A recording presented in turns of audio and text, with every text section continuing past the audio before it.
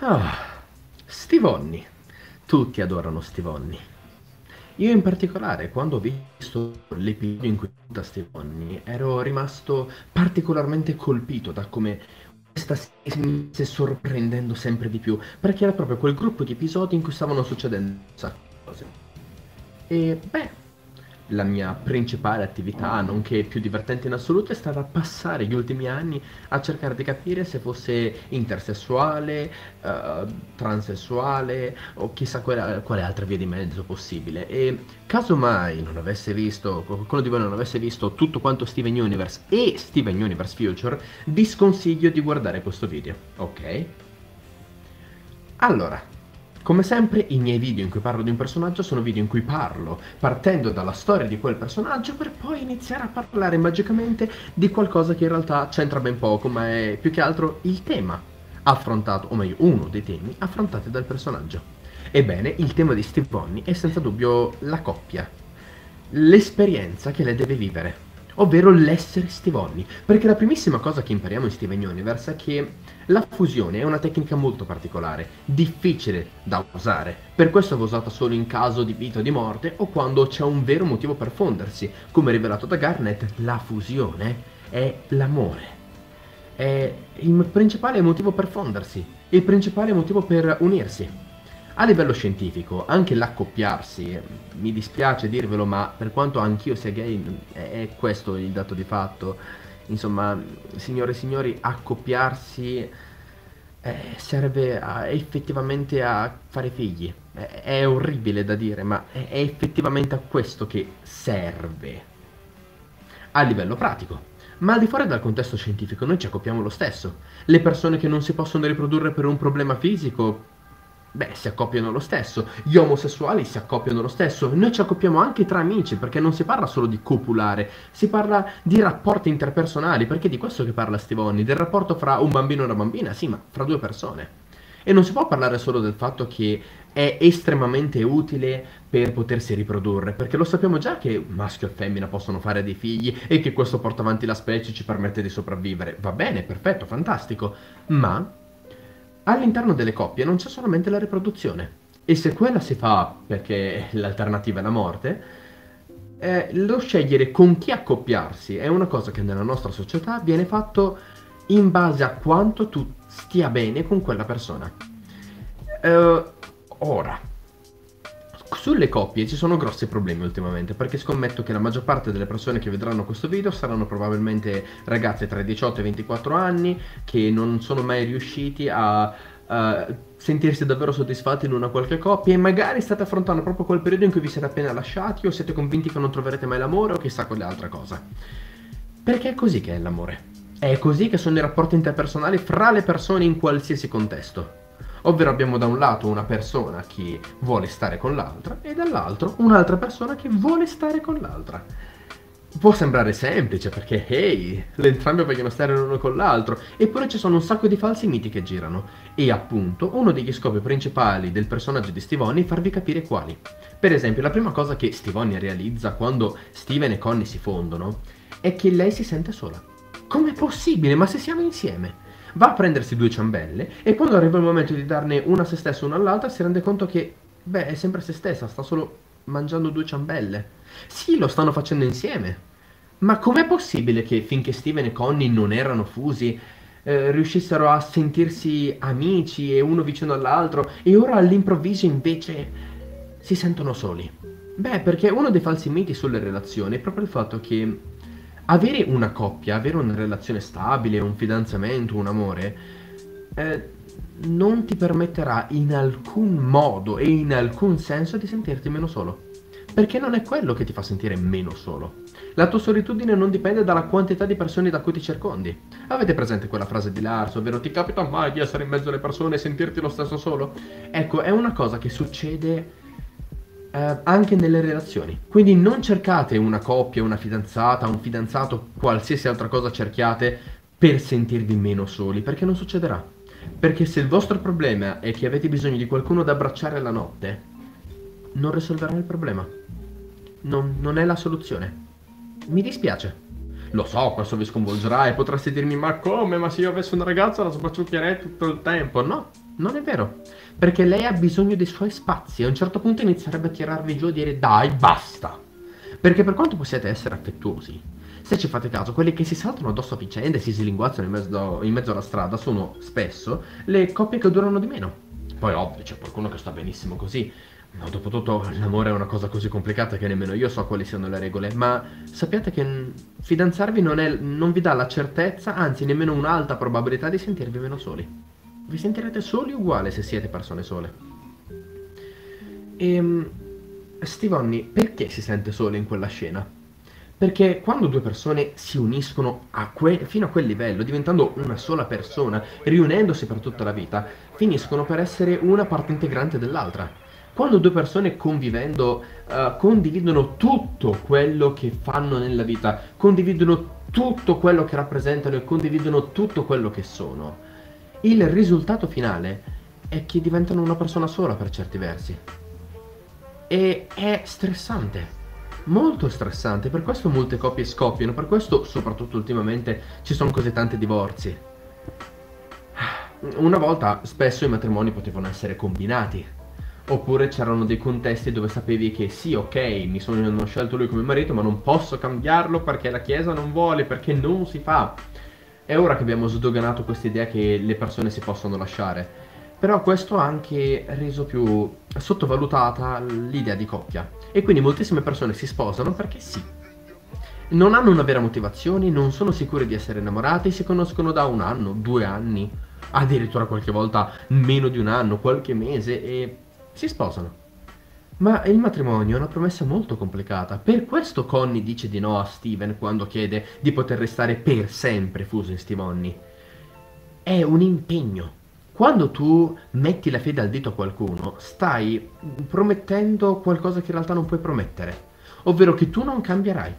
Non puoi, non lo puoi sapere. Le persone cambiano. Le cose si modificano tu cresci, tu maturi. Pensate a quelle cose dove no, sono sicuro che io posso citare di sicuro una, in qualche momento della tua infanzia, della tua adolescenza che trovi cringe e che se tu lo vedessi ora diresti cazzo vorrei tanto non averlo fatto, oh mio dio è stato orribile, oh che persona orribile ero, oh quanto ero infantile, quanto ero stupido. Bene, Succede a tutti perché? Perché maturi e ti rendi conto che certe scelte, certe azioni, certi pensieri che hai fatto in passato in realtà non valgono più oggi perché ora sei maturato, hai imparato altre cose sul mondo e hai scoperto quale errore avevi fatto e hai scoperto che, oh mio Dio, ero un idiota. Beh, è lo stesso che succede in una coppia. Quando la coppia inizia, le persone che si incontrano sono molto diverse rispetto a come procederà la storia. Quando Steven e Connie si incontrano la primissima volta, Connie è una ragazzina particolarmente introversa che come massima aspirazione nella vita ha la partita di tennis, che è molto succube dei genitori e che sta in spiaggia da sola a imparare i nomi delle barche a memoria, leggendo libri e cercando di ignorare tutti. La Connie con cui Steven si è fuso quando si è fuso la primissima volta è una Connie molto più estroversa, allegra, felice di essersi liberata da un grosso peso da parte dei suoi genitori e che ha superato tantissime difficoltà, che ha deciso di mentire ai genitori per nascondere Steven. È una Stevonni molto diversa rispetto a quando si sono conosciuti. Cioè è una Connie molto diversa. E così Stevonni che è molto diversa quella volta in cui si fondono per caso sulla spiaggia e iniziano a correre rispetto a quando iniziano a combattere contro la nave di Smeraldo. Sono due stivonni completamente diverse. Non è, non è un caso che a una delle due sia cresciuta la barba e all'altra no. Perché cambia, tutto cambia. Come dice la canzone più importante della storia di Rebecca Sugar, Everything stays but it still changes. Oh mio dio che pronuncia orribile quanto sono British. Uh, ovvero che tutto resta anche se cambia. E è un modo per dire che non puoi assicurarti che non cambierai.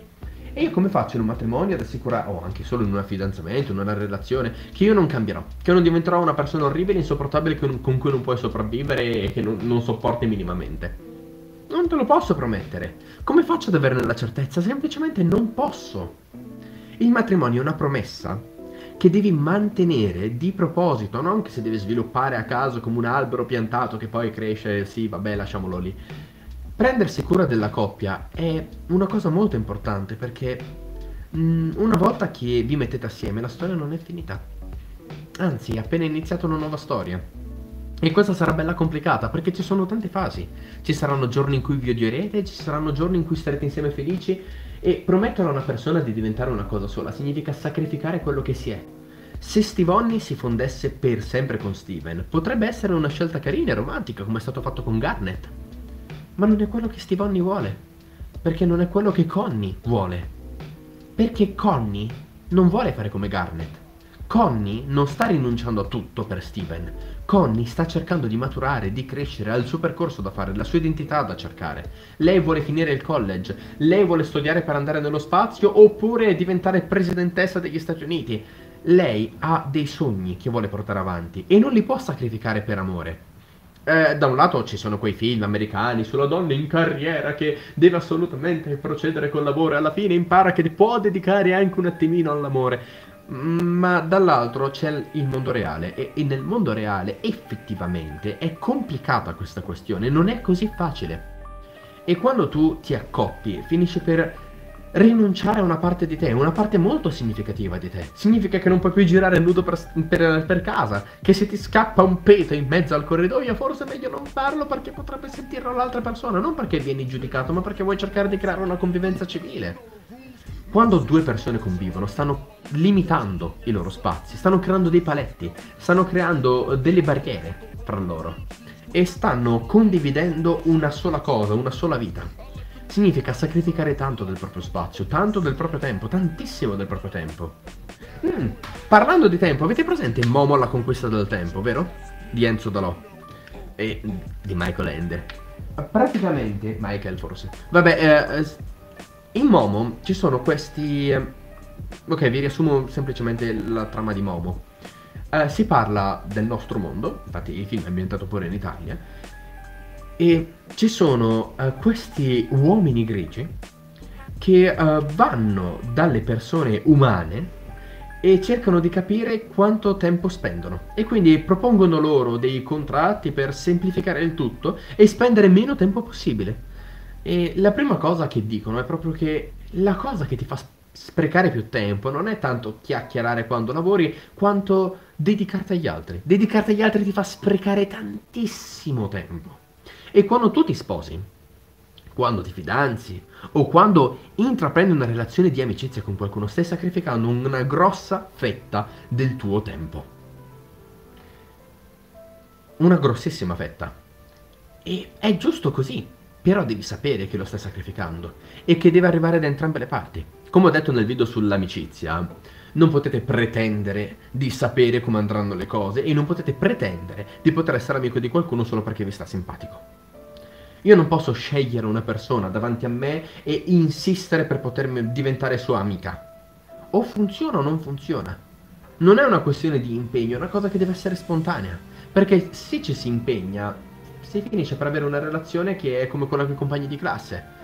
Che magari sì, funziona, magari vi volete un sacco bene, vi raccontate i fatti vostri e magari entrate pure molto in intimità. Ma una relazione non si basa su questo. Sconvolgente, vero? Una relazione di amicizia non si basa sul raccontarsi le cose.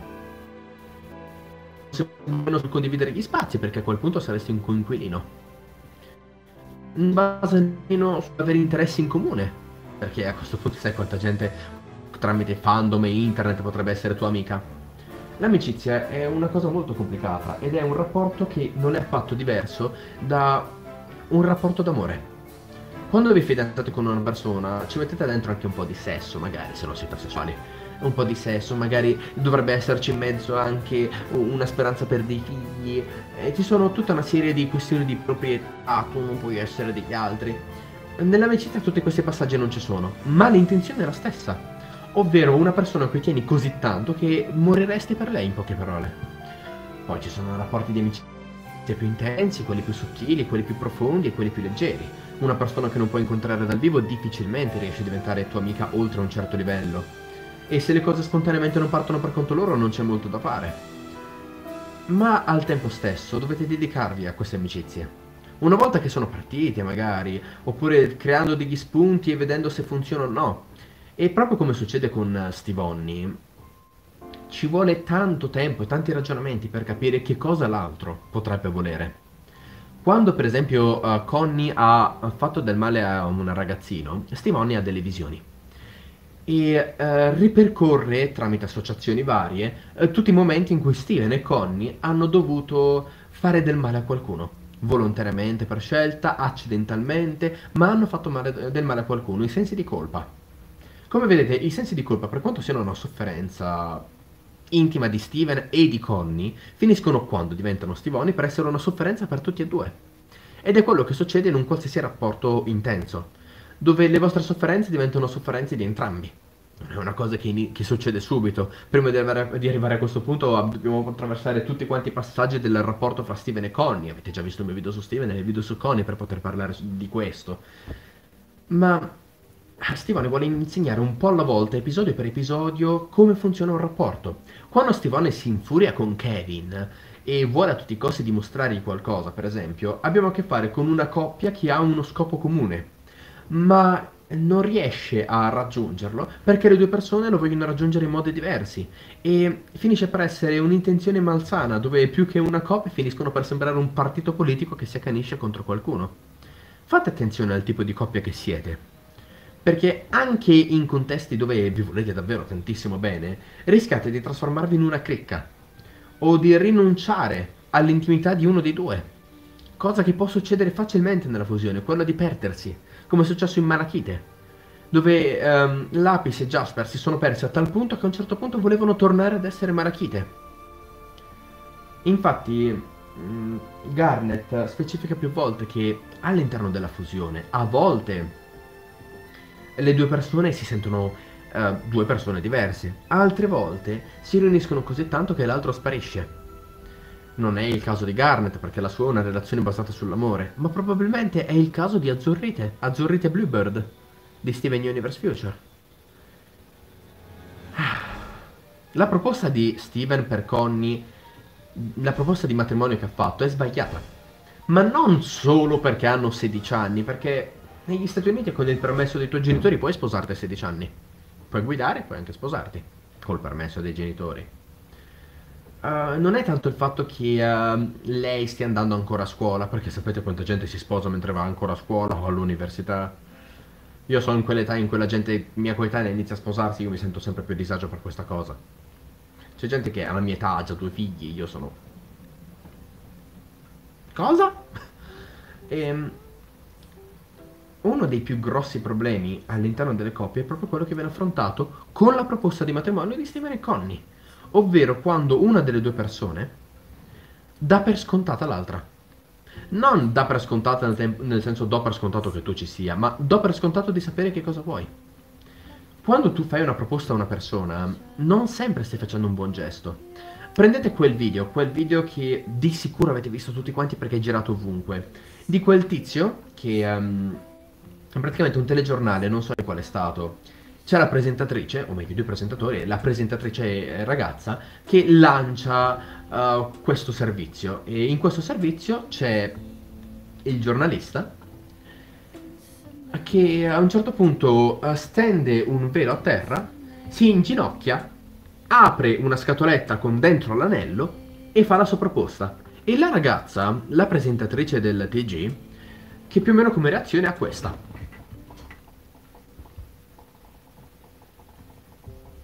E sparire nel nulla. Perché? Perché lui ha fatto un grosso errore.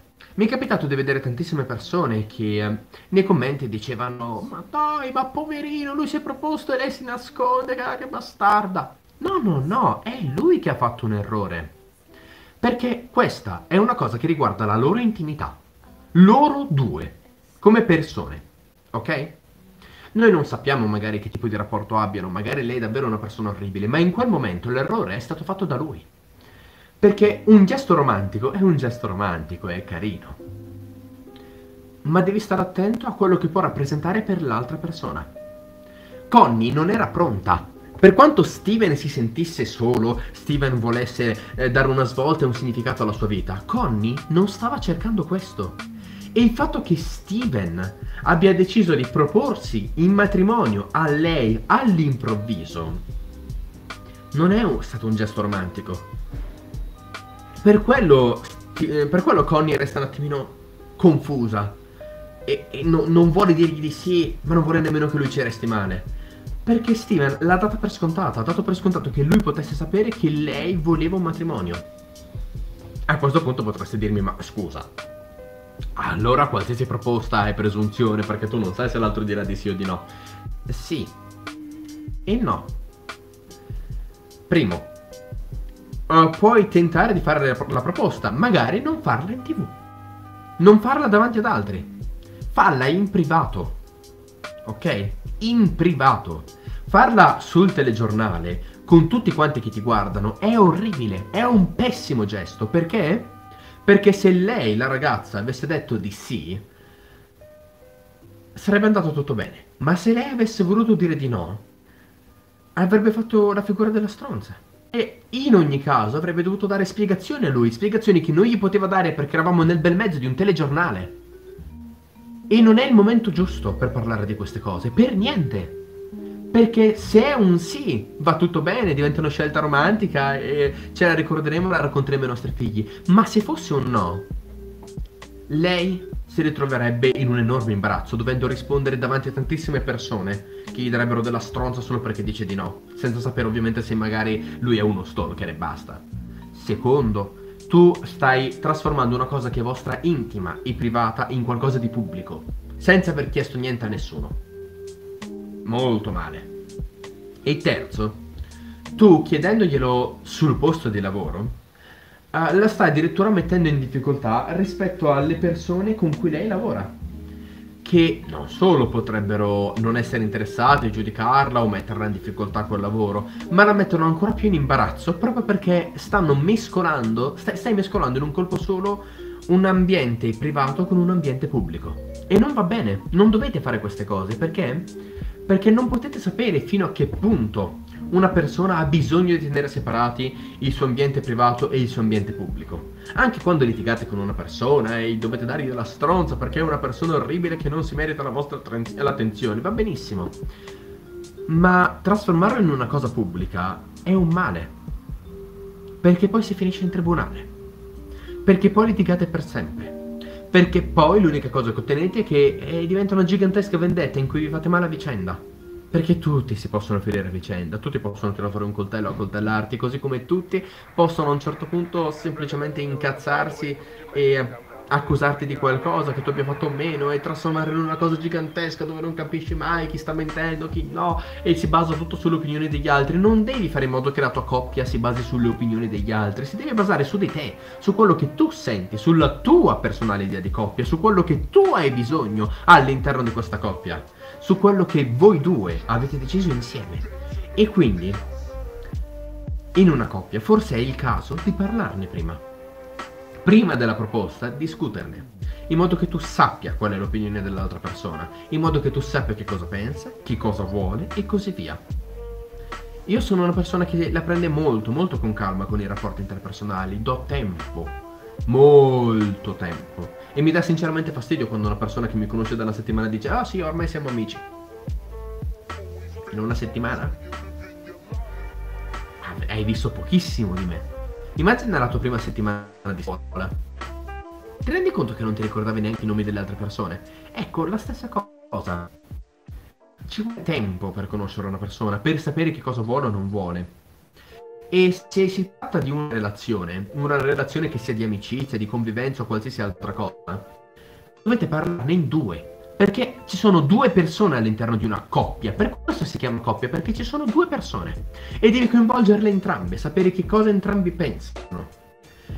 Tu non sai quanto puoi essere importante per l'altra persona, dovete parlarne insieme, con calma. Tu non puoi sapere se questo vuole sposarsi o no, dovete parlarne insieme, con calma. L'errore di Steven è che lui ha pensato a se stesso senza chiedere davvero a Connie.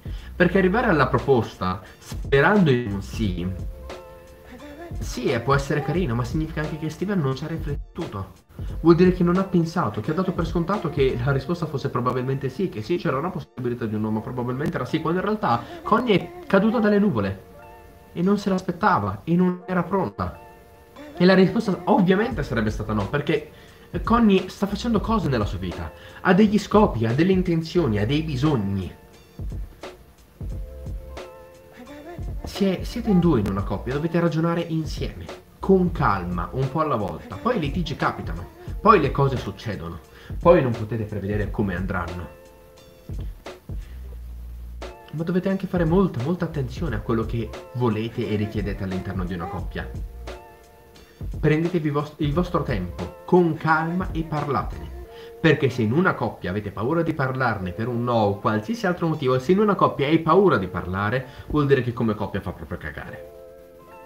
Se state insieme da un mese, mm, è normale che abbiate ancora paura. Se un anno o due, magari di qualcosina potete avere paura, soprattutto se sono temi particolarmente scottanti o intimi. Ma se volete che questa coppia duri tutta la vita, forse, forse qualcosa non funziona se non riuscite a parlare tra voi, ok?